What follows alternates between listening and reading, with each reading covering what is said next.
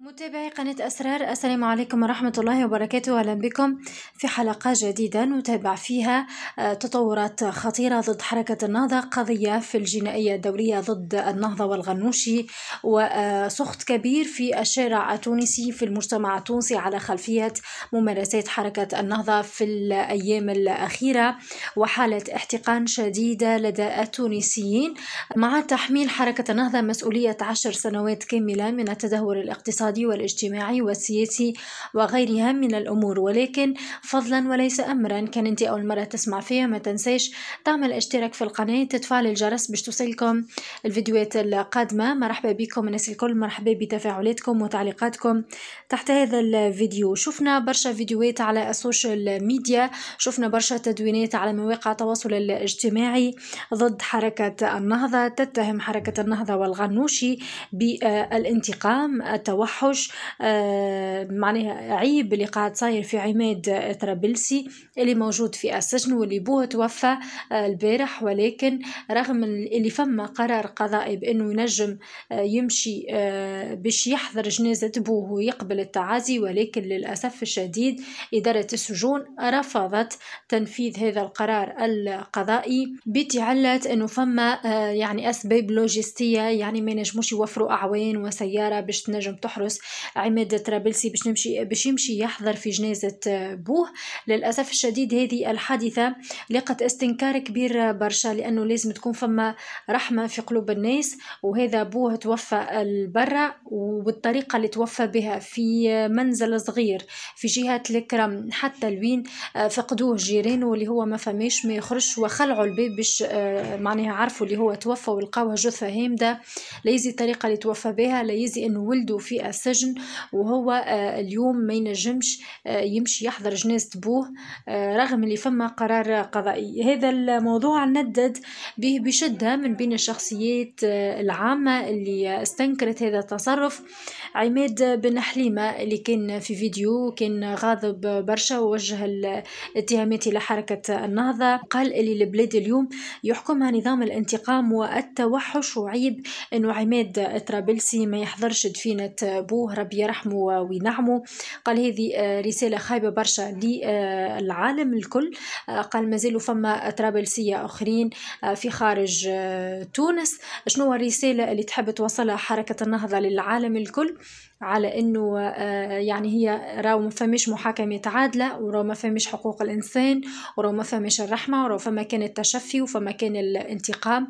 توفى بوه في السجن ما نجمش يحضر جنس بوه رغم اللي فما قرار قضائي. أعتبر إنه الناس اللي تراجعت على تنفيذ هذا القرار إذا كان يخافوا يشدوا ديارهم مش باللازمة يقعدوا آه، يحكموا فينا والحكاية ما فيها حتى شيء. بالعكس لو كان مشى وحضر في جنازة بوه كانت رسالة إيجابية تتعطى على تونس إنه العائلة اللي كانت تحكم. اليوم تتلقى يعني الجزاء متاعها اللي أذنب موجود في السجن ولكن فما أمور إنسانية إذا توفى أبوه أو حد عزيز عليه من العائلة أبوه ولا أمه ينجم يحضر الجنازة آه، هذه. وقال اللي الرسالة اللي باش تمشي سلبية سواء للناس اللي هما من عائلة طرابلسية وإلا للدول اللي موجودين فيهم اللي لاجئين فيهم عائلة طرابلسية اليوم.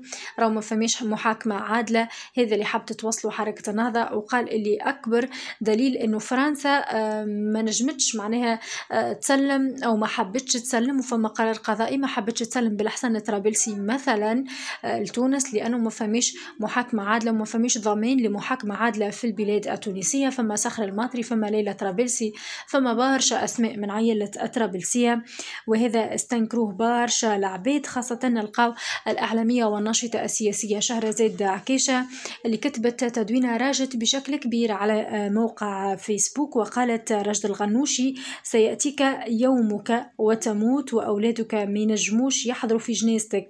سيأتيك يوم آه، تقعد فيه رهينة في تركنا حتى لين تتعفن. كما عملت في النصر الطرابلسي الله يرحمه اللي هو بو عماد الطرابلسي حتى نسيبك ينكر فيك وفي بنتك ويهز الملمة واللي فما ويقطع قيادات النهضة ستتعفنون فرادى وتموتوا وحدكم وتتشتت عائلتكم وتتذلل كما آه، كما ذليتوا آه، غيركم جزاء ما صنعت أيديكم. نهار ليك ونهار عليك وليس ذلك اليوم. بعيد آه، وهذه لاقت تفاعل كبير برشا. والحقيقة رشد الغنوشي يتحمل المسؤولية الأولى. بصفته هو زعيم حركة النهضة في تونس ولو كان يهزوا يديهم على المؤسسة السجنية مثلا ولا وزارة العدل اللي تسير فيها مدام حسنة بن سليمان بالنيابة اللي هي تابعة لفيلق هشام المشيشي الدفاع عليه وللحزام السياسي نتاعو. ثم قرار قضائي باش يخرج. ما فماش ما فماش أمور لوجستية. مش صعيبة على مؤسسه على الدولة ووزارة العدل والسجون إنهم يوفروا سيارة وعدد من الأعوان باش يمشيو مع عماد طرابلسي باش يحضر جنازة بوه ويتقبل التعازي. هذه الحادثة لاقت سخط كبير. كما قلت هذا يجي إلى جانب أنه الغنوشي قاعد يواجه عديد الاتهامات حتى من الأطراف السياسية في البلاد من قبل الطبوبي. الطبوبي اللي قال الغنوشي هو اللي حاول التغطية على عجز وفشل حكوماته المتعاقبة وحمل مسؤولية اللي صاير الكل في تونس. نلقاو أيضا ثامر بديدة. ثامر بديدة اللي حكى على أنه فما قضايا دولية ضد حركة النهضة وراشد الغنوشي قضايا خطيرة للغاية قضايا في محكمة الجنايات الدولية ضد راشد الغنوشي وحركة النهضة تهم جرائم حرب جرائم إنسانية حسب ما أكدوا ونشر الوثيقة الرسمية من آه، محكمة الجنايات الدولية في لاهاي وقال الحمد لله وافقت محكمة الجنايات الدولية بلاهاي صباح اليوم موضوع الاختصاص في الجرائم الإنسانية لملف الجرائم الإنسانية والإرهاب. الدولي لحركة النهضة التونسية حيث عرضت المدعية العامة للمحكمة الجنائية الدولية التقرير الختامي الخامس والثلاثين حول حركة النهضة التونسية في إحاطة أمام مجلس الأمن والتذكير للدولة التونسية بصفته عضو قار وطرف في هذا النزاع وإحالته إلى رئيس المحكمة كريم ماخان بعد موافقة اللجنة القضائية المنعقدة صباح هذا اليوم. بدأت القضايا تتحرك في, الجنا... في الجنايات الدولية.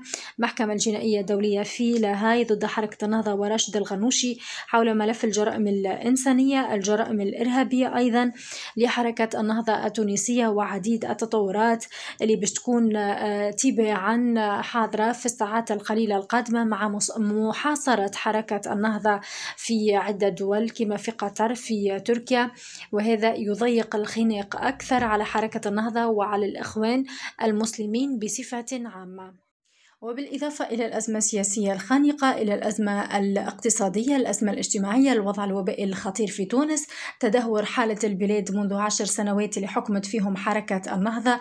إلى جانب القضايا الحقوقية قضايا حقوق الإنسان القضايا الإنسانية العمليات الإرهابية تهم آه، تسفير الشباب إلى بؤر التوتر وغيرها من الجرائم الأخرى. اللي اليوم هناك أطراف بدأت تحرك في قضايا دولية ضد حركة النهضة لإدانتها دوليا وحشرها في في الزاوية. كذلك هذا آه، باش نلقاوه إضافة إلى حادثة عماد طرابلسي وكيفاش يتم معاملة العائلة الحاكمة وأفراد من العائلة الحاكمة في ظل حر... في ظل حكم حركة النهضة اللي يلقاو كان التشفي والانتقام. صورة قاتمة على تونس صورة خايبة. كنا نأمل أنه عماد طرابلسي إذا كان أجرم والقضاء يحكم عليه بالسجن أو أي حكم آخر يتنفذ عليه كيف وكيف أي عبد وقت نقول عدالة وقضاء ولكن هذه أمور إنسانية هو طلب باش يحضر إلى جنازة بوه والقضاء مكنوا من ذلك ولكن أذرع حركة النهضة في وزارة العدل لم تستجب لهذا القرار اللي لقى استنكار واسع في تونس.